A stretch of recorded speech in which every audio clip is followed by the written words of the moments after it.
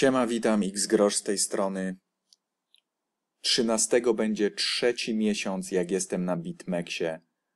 A więc trzy miesiące na BitMEXie i jestem w tej chwili, jak widzicie tutaj mój total jest 0,19, właściwie 0,1959, czyli um, dosłownie brakuje mi 0,04, abym miał 200% zarobku od mojego startu tutaj. Jak pamiętacie, włożyłem jedną dziesiątą.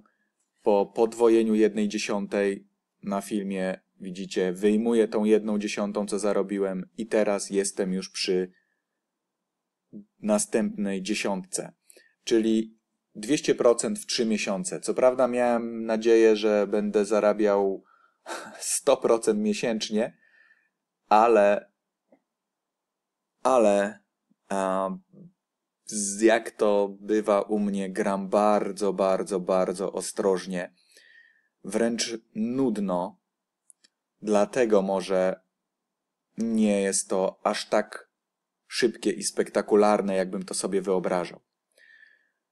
Tak czy tak, co mam, co wam mogę powiedzieć? Jaki jest mój numer jeden błąd, którego staram się unikać za wszelką cenę?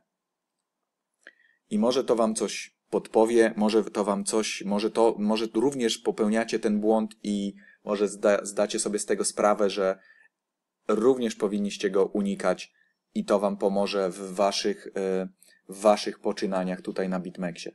A więc mój numer jeden błąd, którego staram się unikać za wszelką cenę, to jest to, aby nie podejmować pochopnych decyzji. Między innymi, wolę odczekać coś dłużej, upewnić się, że to jest ten moment, niż po prostu pod y, wpływem chwilowych emocji zrobić jakiś ruch. Wolę coś przemyśleć i zaplanować, nawet nie patrząc w tym momencie na ekran, niż podjąć jakąś decyzję pochopnie.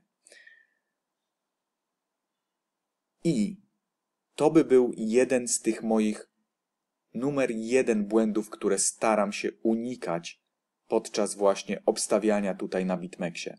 Bo musimy cały czas pamiętać o tym, że obstawiając z dźwignią razy 5, razy 10, to mamy już dosyć sporą um, cena likwidacji naszego, naszego, naszego kontraktu jest bardzo, bardzo blisko. Więc musimy te, o tym pamiętać. Więc może na początku, jeżeli startujecie, spróbujcie razy, dźwignią razy 3, maksymalnie razy 5, zanim przeskoczycie na dźwignię 10. Także razy 3, razy 5 to jest bardzo dobra dźwignia na początek, aby wyczuć, o co w tym wszystkim chodzi. Goal mój jest taki, aby po prostu dojść do jednego bitcoina na czysto zarobionego na BitMEXie. W tym momencie na czysto mam zarobione prawie 0,2 bitcoina co można by powiedzieć było, że wow, jest świetnie w porównaniu do rynków tradycyjnych, w porównaniu do mm, BitMEXu oczekiwałbym jeszcze czegoś więcej od siebie tutaj, no ale nie będę aż tak strasznie narzekał.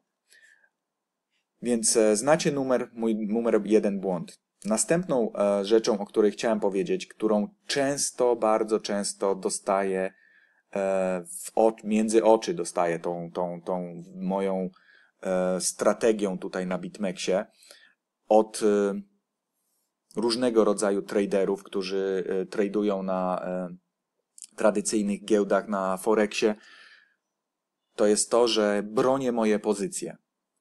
A więc dlaczego bronię moją pozycję? Na czym polega obrona pozycji? Obrona pozycji polega między innymi na tym, że zobaczcie tutaj. E, tutaj jest linia, gdzie wchodzę, prawda? Czyli mm, wszedłem tutaj na cenie 6,565 i mam obstawioną również cenę kupna, jakby Bitcoin spadł do ceny 6,477, kupuję następne 2000. Czyli 2000 mam kupione tutaj, ale jakby spadł, kupuję 2000. Czyli e, podwajam swoją pozycję w momencie, kiedy Bitcoin spada w dół.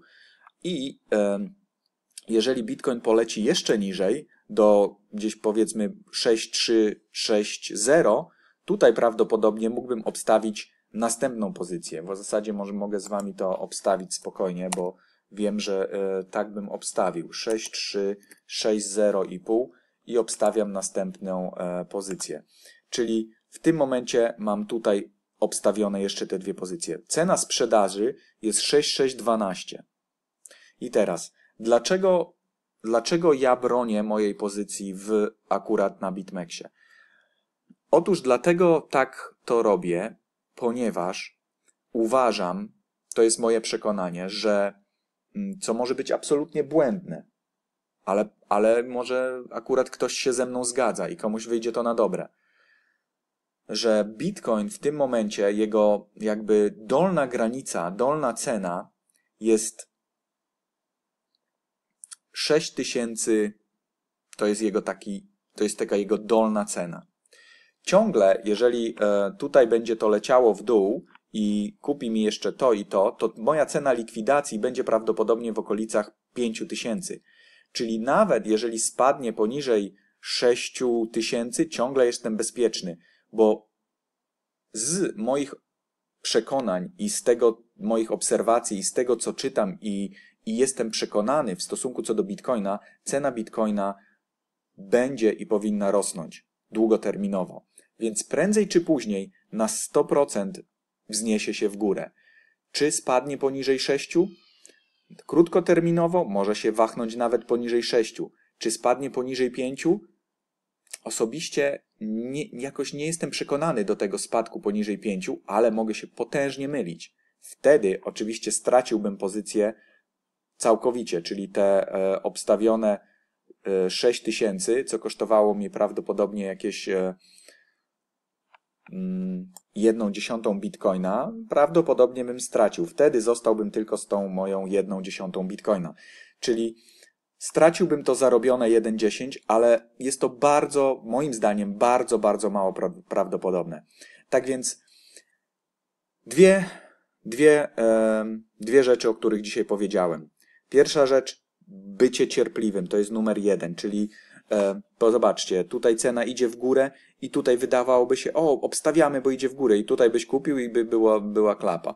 Ale w momencie, kiedy cena się w taki sposób waha i myślimy o tym, czy pójdzie w dół, czy pójdzie w górę, więc mam obstawioną, tutaj kupiłem i mam obstawioną zaraz sprzedaż, ale również jakby się wachnęła w dół, to mam ustawione dwie, dwa, dwa razy kupno.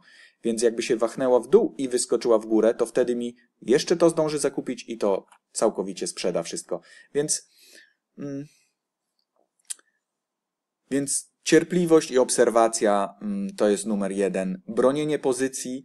E, zwykle tego się nie robi w tradycyjnych rynkach, ale dlatego, bo w tamtych rynkach, jeżeli cena idzie w dół, to są tego, że tak powiem, konkretne przyczyny. To nie jest, to nie jest, zwykle to nie jest jakaś e, chwilowa, chwilowy nastrój rynku. Zwykle to jest jakaś konkretna przyczyna, jeżeli akcja leci w dół, więc e, z innych przyczyn tam pozbywamy się stratnych pozycji jak najszybciej. Tutaj zauważyłem i zresztą widzieliście moje poprzednie e, trades, na których byłem poniżej tam 60% straty, a potem wyszedłem na 40% do góry, więc e, tutaj w zasadzie wahnięcia są tak olbrzymie, że możemy sobie pozwolić na obronę tej naszej pozycji w przedziale, w którym akurat e, tradujemy. Tak więc tyle by było dzisiaj o BitMEXie. Jeżeli w ogóle nie, nie, nie handlujecie jeszcze na BitMEXie i chcielibyście razem tutaj ze mną handlować i wiedzieć coś więcej, będę prawdopodobnie, spróbuję, spróbuję prawdopodobnie uruchomić może mm, jakiś kanał, może na Discord albo gdzieś, gdzie będę na bieżąco, e, że tak powiem, pokazywał moje ruchy na żywo w momencie, kiedy będą obstawione, ale tak jak teraz widzicie moją obstawkę, to nie znaczy, że powinniście śledzić mnie, bo mm, bo akurat w tej chwili jestem 200% do przodu. Mogę, mogę, to, y, mogę za chwilę tą jedną dziesiątą stracić, ale już tej drugiej dziesiątej prawdopodobnie nie stracę, bo bym, się, bo bym wtedy ją bardzo bronił. Więc e, jeżeli nie macie BitMEXu, konta na BitMEXie, pod spodem jest e, link do rejestracji, gdzie rejestrujecie konto i macie na początek e, parę, mm, na początek macie pół roku chyba mm, Zobaczmy tutaj na. Patrzmy na mój kanał. Pół, pół roku macie, e, że tak powiem, 10% zniżki przy, e, przy handlowaniu. I co jeszcze? I jeżeli chcecie zobaczyć więcej filmów, to mamy menadżer filmów, więcej filmów o Bitmexie, menadżer filmów i playlisty. I tutaj mam e, listę o Bitmexie, gdzie, gdzie w zasadzie robię tam parę filmów o tym, wprowadzenie, co to jest funding, jakieś tam e, cierpliwość popłaca, cierpliwość. O, tutaj mam już 100% zysku, czyli, czyli, czyli plan jest dobry. Tutaj miałem 100%, po następnym miesiącu mam następne e, 100, czyli tak 3 miesiące zajęło mi 200%. Także tutaj macie parę filmów o BitMEXie, jakbyście chcieli się coś więcej dowiedzieć, pod każdym filmem macie link do rejestracji, gdzie macie 10% zniżkę i myślę, że mm, będę prowadził tak jakby równoległy, e, równoległą linię z moim kanałem, gdzie mówię o, o, o XRP, o Bitcoinie, o wszystkim innym, również o tradowaniu i tym, w jaki sposób ja to podchodzę do tradowania. Mimo to, że nie jest to absolutnie profesjonalny sposób, w jaki ja to robię, bo profesjonaliści jeszcze inaczej do tego podchodzą, ale wiecie co? Ja myślę, że wypracowałem taką swoją metodę zaczerpniętą od stołu pokerowego, gdzie w zasadzie e, foldujesz, foldujesz, czyli rzucasz karty, rzucasz karty, rzucasz karty i wszyscy przy stole już myślą, że Jezu, co ten gość, normalnie jakiś nudziarz, w ogóle nie gra. Aż wtedy dostajesz te karty i wszyscy już wchodzą tam, ON, rzucają kasę, a ty z tymi dwoma kartami wreszcie pał i zwijasz i znowu czekasz. I myślę, że podobną sytuację mam e, tutaj w e, BitMEXie, tak jak również bronienie pozycji, to jest to, że nawet na tej ostatniej karcie możesz totalnego blefa szczelić przy stole pokerowym i, zwi- przy pokerowym i zwinąć całą pulę. Tak tutaj właśnie te, to, to ostatnie obstawienie, gdzie obniża ci, mm, gdzie obniża ci cenę likwidacji jeszcze niżej, a za chwilę przy wybiciu możesz sprzedać z zyskiem. Od taka moja strategia. Jeszcze raz podkreślam dla wszystkich e, tych, którzy siedzą w tym jeszcze głębiej niż ja i powiedzą mi, że bzdury absolutne opowiadam, że e, nie wiem o czym mówię, że głupoty i tak dalej. Okej, okay. w tej chwili jestem 200% do przodu. Taka jest moja strategia. Ta strategia dla mnie działa. Więc kontynuuję ze strategią, która dla mnie działa. Taka jest moja odpowiedź. Nic więcej.